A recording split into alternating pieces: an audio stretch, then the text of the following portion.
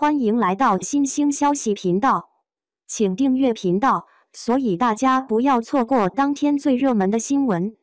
我们今天的时事通讯包括以下内容：身价超三十亿，娱圈顶流赵丽颖闷声干大事，手握一流资源默默做慈善。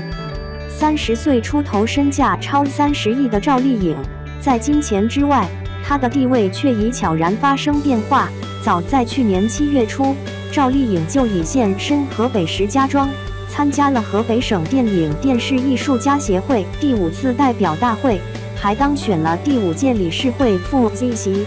消息一出，顿时引发全网热议，粉丝们都赞赵丽颖闷声干大事，可不少人却提出了反对意见，那就是没背景、没学历的农村丫头，凭啥能在藏龙卧虎的娱乐圈里谋得职位？殊不知，自从踏进演艺圈的那一刻起，赵丽颖就从未停止过前进的脚步。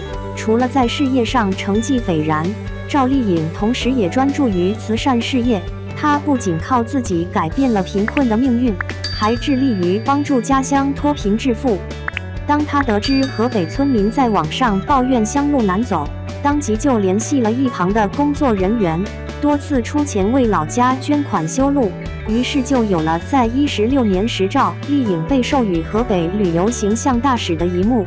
而像这样反哺家乡的事情，赵丽颖其实做过不止一次。当初河北疫情肆虐，赵丽颖不仅录视频为父老乡亲加油打气，还为河北廊坊捐赠了一千万善款。到了上海疫情爆发之际，黄晓明、欧阳娜娜冲在一线为其捐款，受到了外界的一致好评。但很少有人知道，赵丽颖其实也献出过一份爱心。当时就有网友透露，自己所在的小区收到了满满一卡车由赵丽颖捐赠给社区留守老人以及困难家庭的物资。虽说赵丽颖并没有将善举公之于众，但受其恩惠的人却会将这些牢记心中。如今的赵丽颖事业有成，同时也热衷慈善，从不忘本。获封河北影视协会的副主席，堪称是实至名归。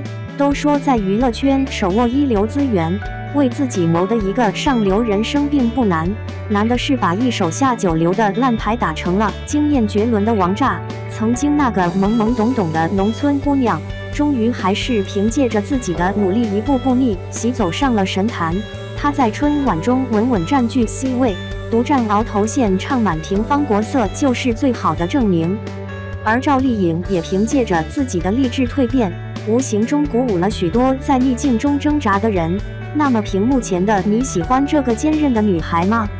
二，不可否认，赵丽颖是全网黑之后逆袭成功的演员之一。今天网友问，有哪些全网黑但逆风翻盘的明星？忙于拍戏的赵丽颖又无辜的登上了热搜。靠实力力挽狂澜的赵丽颖是否认同呢？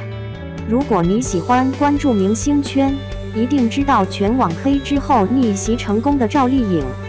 一十三年全网黑把她推上热搜榜第一，很多人觉得她根本无法翻盘。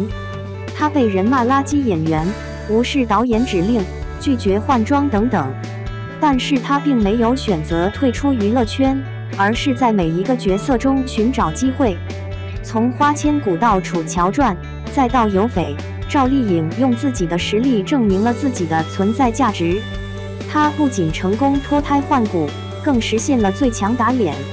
赵丽颖用自己的汗水，成为了今天的自己。每个人都会面临困境、迷茫与疲惫，但你是否还保留一份初心？是否还有着一份执着向前的决心？选择不放弃呢？赵丽颖在逆风中找到了笑，我们的生活中也要用心寻找，相信明天会更好。